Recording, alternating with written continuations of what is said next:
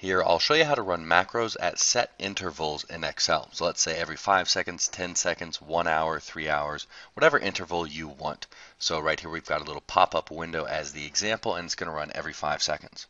I'll show you how to make this work through keyboard shortcuts, through buttons like this in the workbook where you can start and stop it, and also make it so that it starts right when the workbook opens. Before we start, check the video description and click the link to Teach Excel so you can download the files for the tutorial and follow along. And make sure to subscribe and accept notifications so you can see all the new tutorials.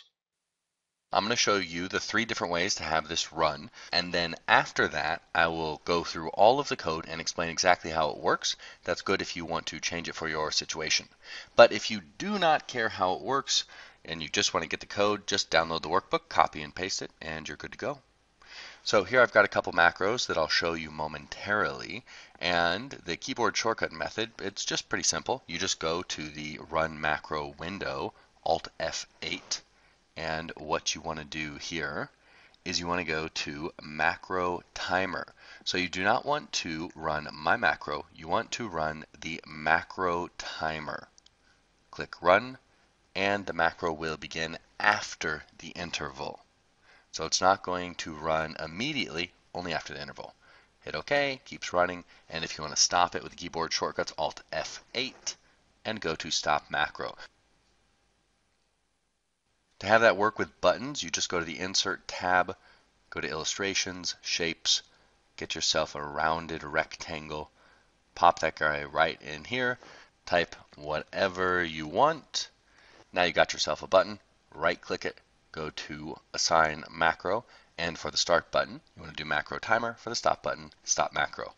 Easy peasy. So let's delete that guy because we already have our buttons. Now let's make it run when the workbook opens automatically. So here we have to go to the VBA window, hit Alt F11. Here you'll see the macro, but you don't have to do anything with it right now. We've got our macro timer, my macro, and stop macro.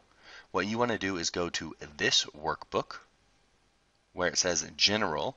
Click that and click Workbook.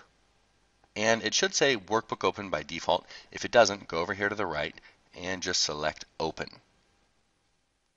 Now what we can do here, very, very simple, call macro timer. So the same macro that you would have clicked when you used the keyboard shortcut Alt F8 or assigned to a button to start the macro, just type call and macro timer.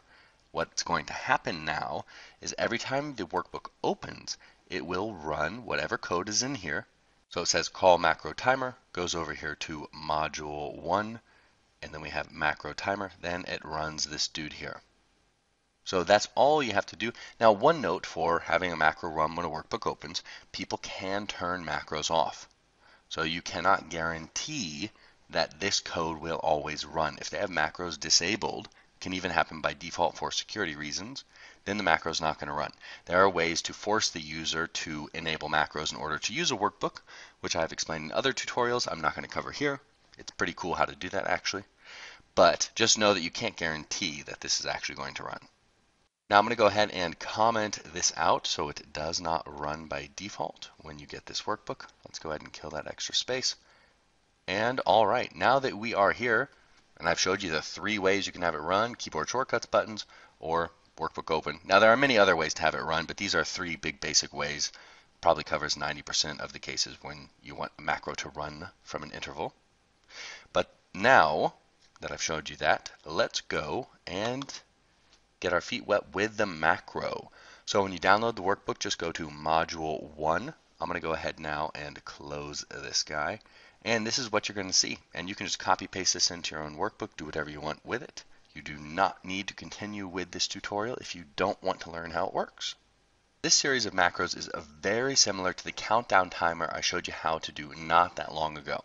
Basically, we use the same technique, which is application.onTime. So if you understand exactly how that works, then it'll be easier to understand this. If not, don't worry. Now this is a slightly different structure from the countdown timer. So it looks a little bit different. I've got an extra macro in here, but I think it works quite well for this situation. So let's start with the macro timer because that's what we set to the start button and so on. So this dude right here, macro timer, is what actually controls the interval. And which macro will run. So here we've got our interval, which is just the current time right now, plus whatever we want. Here it is set to 5 seconds. You could set it to whatever. You've got hours, minutes, seconds right here. So maybe I will add a note. Set your interval here. And now that we have an interval, we can use that interval in application.onTime. This is what allows you to do something, to run a macro so many seconds, hours, minutes in the future. And here we have a very simple implementation of it. We do application.onTime. We tell it when we want it to run, which is right now plus five seconds. And we tell it what we want it to run, which is my macro. This is the name of the macro that you want to run. So my macro, my macro. So this right here, it says, in five seconds from right now, run my macro. Five seconds will pass, and we get to my macro. Now in the countdown timer, these two macros were one. And the big difference was that then this macro code, which is right here, would run immediately after it was called. Here, however, we wait for the interval to pass until we run the macro code at least once. So it will wait for the first interval, five seconds, before this macro down here is run at all. So that's the really big distinction. It doesn't run immediately once it's triggered. But now that we're down here into my macro, basically, very simple. We have some code, whatever code you want to run right here, and then at the very end of it, just call the timer macro again. So I've made it a very simple macro right here. It's just going to open a message box for us so that we know that the code has run. Message box, this is my sample macro output, but you can do whatever you want. You can even call another macro if you wanted to, keep all the code isolated over there. And then once it runs this code, and it's very important, once it runs the code, then it will call the macro timer again. Now this code can take a long time to run. It's going to stop you from doing anything else for the most part in Microsoft Excel while it runs. Then when it finishes running, it's going to call macro timer again and restart the interval. What this means is technically the intervals could be longer than you specify right here. So if you set a 5 second interval but the macro takes 30 seconds to run, well, it's not going to work exactly how you expect it. So you do need to take note of that. You do need to be careful and test your macro, see how it's going to work, especially if you're going to deploy it onto machines that aren't particularly fast. So in my macro, we have the code to run, then we just recall macro timer, and this is how the loop works. But eventually you want to stop the loop, so we get to the next macro, which is just stop macro. And here, I'm going to skip this line for a moment we reference application.onTime once more. So this right here is the same as this dude up here, but we are going to use a little bit of a different way to reference the arguments. So up here I have interval and then my macro. Down here I have earliest time colon equals interval procedure colon equals my macro and then schedule colon equals false. This is another way to input the arguments, and we do it here because we don't include all of the arguments in order. So there's another argument between schedule and procedure. Now, maybe you don't need to know that, it's not a big deal, but basically the thing is here we add one additional thing, schedule false. And what these names are, earliest time, procedure, and schedule, they are the name of the arguments. So if you go to DuckDuckGo and search for MSDN Excel VBA application.ontime, you'll see a good little list of the arguments, earliest time, procedure, latest time, and schedule. So we just put the name of the argument, a colon, and an equal sign, and then the value that we want for that argument. So this right here is another way, essentially, of putting this in there. So it's another way to use this method. So earliest time equals interval, our procedure is my macro, and schedule is false. So we want to kill it, stop it from running. So that's all there is for this macro, okay? And there is one little thing that we do take care of, And we do that using on error resume next. If you hit, let's say you use stop buttons in the workbook and you hit the stop button, but nothing was running, it will throw an error. And it's a real ugly error. It doesn't look very nice. So I'll show you what that looks like right now. Put a comma here, Alt F11 or go back here. Let's just hit, let's do, do it the right way. First start.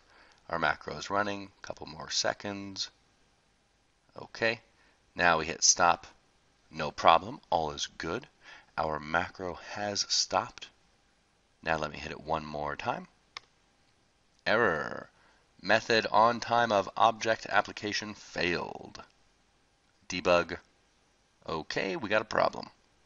So, the easiest way to get rid of this issue is to type on error resume next. What it means is, hey, if you see an error, instead of stopping the application and confusing the heck out of the user, just continue. Pretend the error didn't happen.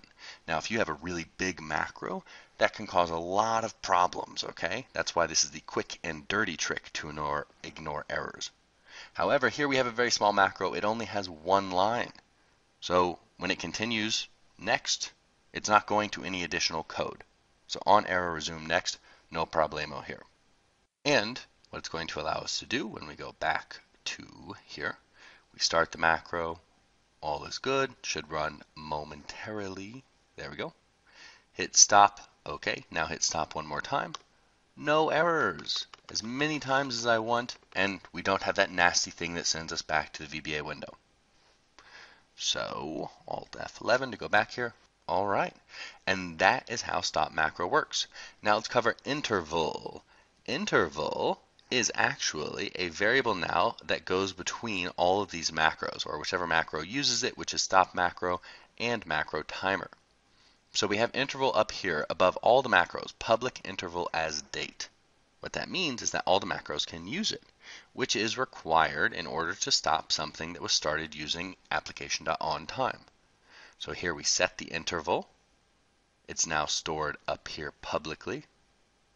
We use it down here, application.onTime, all is good. And then when we want to stop the macro, we call that variable one more time. You can see that interval is not set down here in this macro at all. So we make a global variable so that we can set it in one macro and use it in another macro. And I think that pretty much covers it for this macro. It's a robust little macro. It's pretty cool. And it allows you to run other macros at set intervals. The one thing to always remember, though, is that when you make macros in Microsoft Excel, you can never actually control the complete environment. The user can disable macros, the user can close the program unexpectedly, things can happen. But that's all for this tutorial, and I hope you found it helpful. I hope you liked the tutorial. If it was helpful, don't forget to give it a thumbs up and make sure to subscribe and accept notifications so you can see all the new tutorials.